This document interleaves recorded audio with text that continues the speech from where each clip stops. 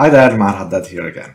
So in this new uh, YouTube uh, video, I would like to show you how you can create VLANs on Cisco routers and uh, how uh, we can make the uh, interfaces as uh, trunk ports and as access port. So what are all those topics? That's something I'm going to show you in this lab. So here is my lab scenario. Let's say that you are a company, you have three switches. Now I'm not putting a router here because I'm going to do another video showing about the router when it comes to the VLAN. So I'm going to focus on how to create the VLANs, how to assign port to VLANs, how to do the trunk port. So when you have like three switches and you say that I want to put the PC1 on VLAN 10, PC2 on VLAN 20, and also PC3 on VLAN 10 and PC4 on VLAN 20. So that means what? That means that PC1 and PC3, they can't see each other and PC2 and PC4 can see each other, but PC1 and PC2, they cannot see each other even though they are physically connected to the same switch, but because they are on two different VLANs, they can't see each other. Same happens between PC3 and PC4.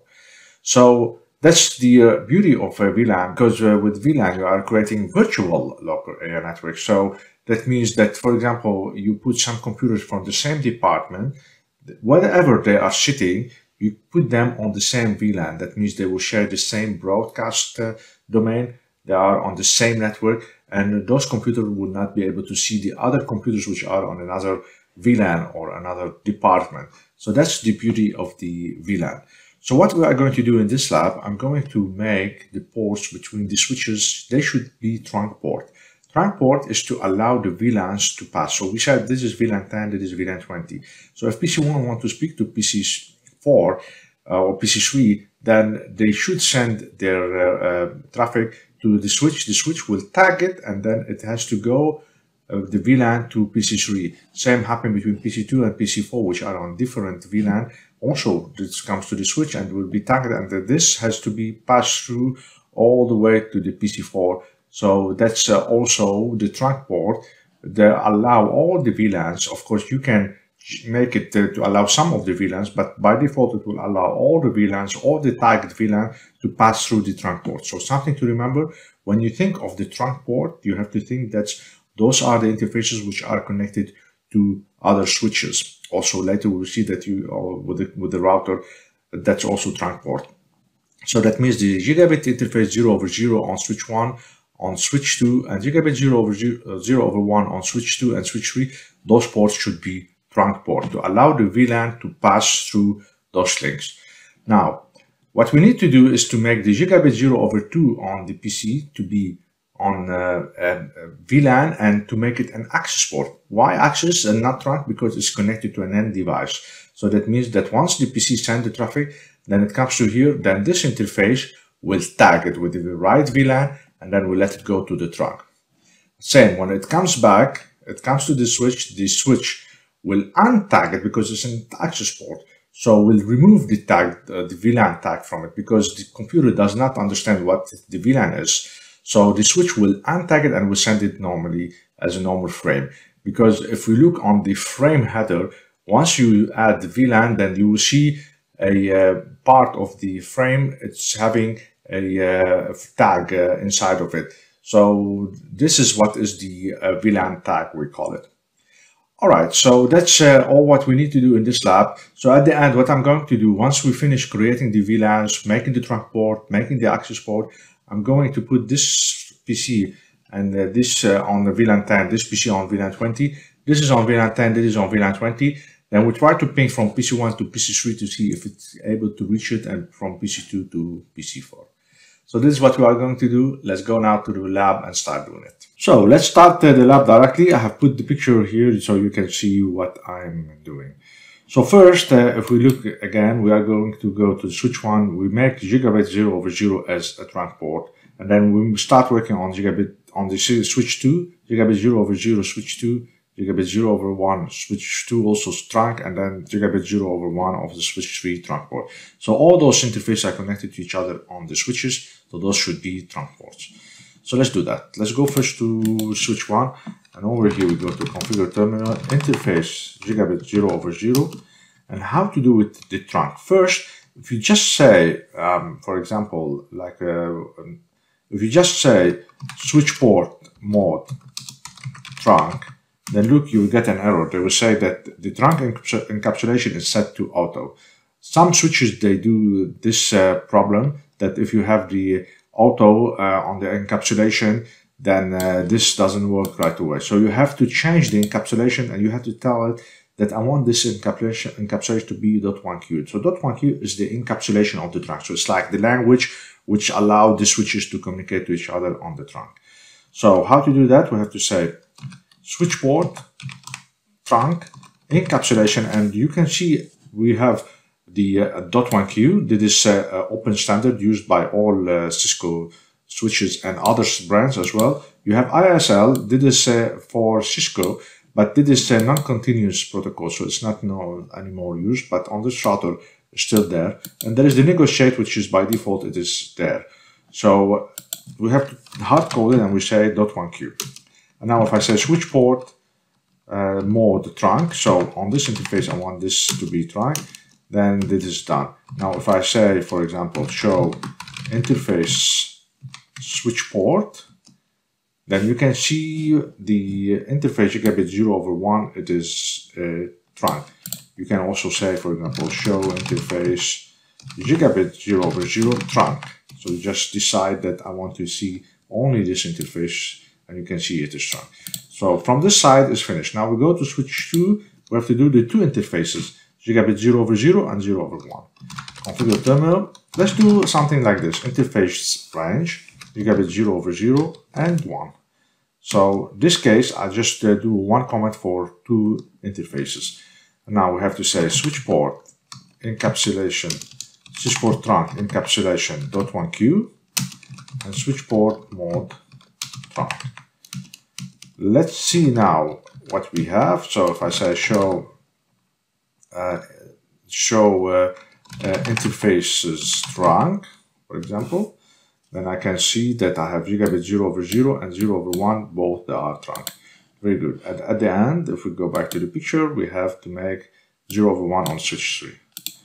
So configure terminal, interface, gigabit 0 over 1, switch port, trunk, encapsulation.1q, switch port, mode, trunk. So very good. So all those three interfaces, they have been configured as trunk. Now what I need to do uh, before I start working on the access uh, uh, interfaces to make the host interfaces as access, I want to create the VLANs. So let's say that we have two VLANs, one for sales and one for management. We make VLAN 10 as for sales and VLAN 20 as management. And those VLAN will be assigned to those computers later. So we have to do this work on each switch. Now someone can say, well, we have three three switches now. We can create VLANs right on three switches. That's not a problem. But what if we have for example, 50 switches in our company and we have to create 50 VLANs. So do we have to create this on each of the switch? Then the answer is no, you don't have to. You can use the protocol which is called VTP. Then you create the VLANs on one VTP server, which is one of the switches. And then you have the trunk port and then all the other switches will become like VTP clients. And then they will receive all the VLANs that you created on one of these switch. But that's something I'm going to do a video again on it uh, later on uh, the YouTube channels to show you how this happens. Uh, but for now, let's just create the VLANs on these three switches. So how to create the VLANs? Very easy. Configure terminal, VLAN 10, and we give it name. Let's give it the name of sales. So this is for VLAN 10, and then VLAN 20, name, and uh, we make uh, management, for example. So now if we say show VLAN, we can see that we have VLAN 10 says it is active and VLAN 20 management it is active, but they don't have any interfaces on them. So you can see all the interfaces of this switch that are still on the VLAN 1, um, which is uh, the uh, default uh, VLAN. So all those interfaces are still there. Later we have to move the interfaces connected to the computers. We have to put them on the VLAN 10 and VLAN 20. Now switch to, do we really need to create the VLANs? Let's think of it. Do we have any computer connected to switch to? No. But yeah, even if you don't create the VLANs, the VLAN will pass because there is a trunk between the switch 1 and switch 3. So there's switch 2, but these are those interfaces are trunk, so the VLAN will pass. So why do we have to create them on switch 3? Let's go to switch 3. And also we say VLAN 10 name sales, VLAN 20 name management. And do show VLAN. Here we go. So we have VLAN 10 and VLAN 20 that have been created. Very good. So this is done. So we have the trunk, we have created the VLANs. Now we have to say on switch 1 that gigabit 0 over 2 is an access port on VLAN 10 and gigabit 0 over 3 is an access port on VLAN 20. So then if the computer send anything to the switch, then it will tag it on VLAN 10. And if, if the switch is receiving some packet for to VLAN 10, then it will, he knows that he has to send it to PC1, which is on VLAN 10. You get the idea? So let's do that. Let's go to the switch 1. And from the switch 1, I have to go to the configure terminal and now I have to get to, to go to the interface gigabit 0 over 2, switch port mode access. So I'm saying that this interface is access and, and it is on VLAN 10, switch port access VLAN 10. So this is for gigabit 0 over 2. Now I will do for the interface gigabit 0 of 3, which is connected to PC2. And I have to say switch port mode access, switch port access VLAN 20. So if we make now show VLAN, we should see that on the VLAN 10 we have indeed gigabit 0 over 2 which was over here but now it is inside VLAN 10 and we have gigabit 0 over 3 it is inside VLAN 20 which is the management VLAN. Very good. So let's go now to the switch 3 and let's look to the picture again. Switch T also 3 is gigabit 0 over 2 on VLAN 10, gigabit 0 over 3 on VLAN 20. So let's do that. We go again to the switch. This is switch 3 interface gigabit 0 over 2. And now we have to say switch port um, uh, mode access and switch port access VLAN 10. Now we go to the interface, interface gigabit 0 over 3, switch port mode access, so this is an access port, and now switch port access VLAN 20. Now let's check the VLANs, show VLAN. So we see that the gigabit 0 over 2 is inside VLAN 10, the sales, and gigabit 0 over 3 is inside VLAN 20, the management interface. Very good. So up to now, if we make a small review, we have made the trunk between those switches. We have created the VLANs on switch 1 and switch 3. We have said that PC1 is on VLAN 10, same PC3, and PC2 is on VLAN 20, same PC4.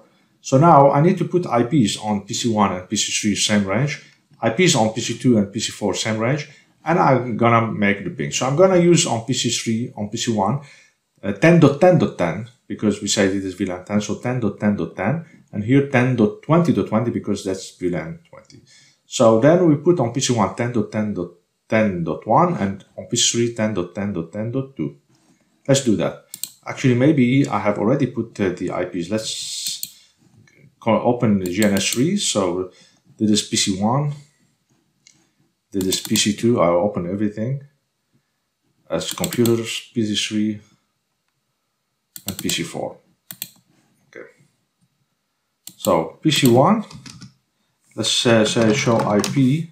Yes, indeed, I put the IP addresses. You see 10.10.10.1. So how to put the IP is very easy. Just make IP, and if you say question mark, it will show you here. Put IP 10.10.10.1 slash 24. That's how you have to write it. All right. So this is having, having the 10.10.10.1 PC3 has show IP 10.10.10.2, very good. So let's ping from one to another. From PC1, I say ping 10.10.10.2. Here we go, it's working. Perfect. Let's go to PC2 now. Do we have IP? Show IP. Indeed, 10.20.20.1. PC4, show IP 10.20 to 20.2. Very good, same range of IPs. Let's ping from PC2 to PC4. 10.20 to 20.2. Here we go. Excellent. Perfectly working. Now, what I want to do is just to show you a very nice trick. So you see that PC1 and PC2 are physically connected to the same switch. So even though they are connected on, to the same switch, but they are on different VLANs, then they will not see each other even on layer 2. All right, and to show you that, look, if we go to PC1, and over here I say show ARP. So just show me the ARP table. Look, he will only see the ARP table on layer 2, We see the computer, which is PC2. He doesn't see PC3, even though that PC3 is connected physically to him, he doesn't see it. Same if I go to PC2 and I say show ARP. Same, you can see he doesn't see the PC1, uh, but he see PC4, 10 to 20 to 20 to 2, that's PC4. So even though on the, the ARP table, also the layer 2, they don't see each other. So that's how you can divide the computers using, using the uh, VLAN. So that's uh, all what I wanted to show in this lab. So this is uh, everything that I wanted to explain in this lab. I just showed you how you can uh, create uh, the VLANs uh, on the, the Cisco switches, how you can make the ports as trunk and as access. And we have seen at the end it's working perfectly. If you like my way of teaching, please do not forget to make a like on this video, to subscribe to my channel and to click on the bell so you are notified by my new videos when they come to my YouTube channel. Thank you very much for the time you spent watching this uh, video and see you next time.